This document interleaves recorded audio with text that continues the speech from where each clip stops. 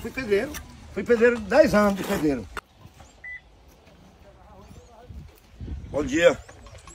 E aí, tudo bem? Pois é, estou aqui vindo aqui nessa construção do meu amigo Claudiano. Quero dar uma diária aqui hoje. Isso é uma promessa que eu tinha com ele de fazer essas casinhas. E aí quando foi um dia ele me procurou eu disse que ia fazer uma casinha para ele, ele, falando que a coisa, o sonho dele era construir uma casa. Eu disse para você realizar seu sonho.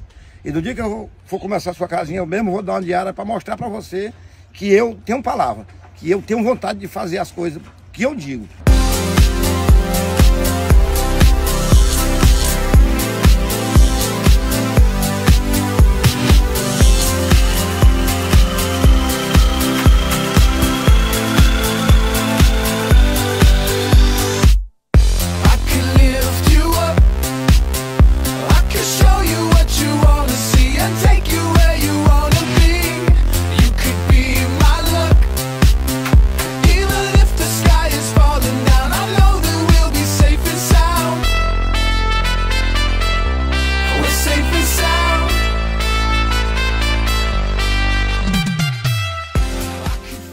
Fui pedreiro, fui pedreiro 10 anos de pedreiro, construindo casa. Eu trocava casa, eu, eu não empreitava a casa por dinheiro, trocando em gado.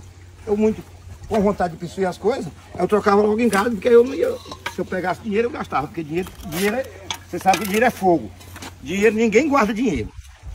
Não adianta você pensar que guarda dinheiro, que tem que aparecer porque gastava. Aí eu já trocava em gado, era para mim poder, hoje eu, eu chegar aonde a gente está. Sou fazendeiro hoje porque eu trabalhei mesmo, foi no pesado. Não brinquei não.